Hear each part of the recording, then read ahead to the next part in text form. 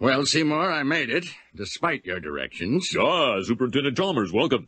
I hope you're prepared for an unforgettable luncheon. Ah.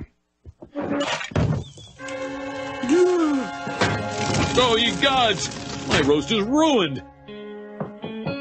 But what if I were to purchase fast food and disguise it as my own cooking? Delightfully devilish, Seymour.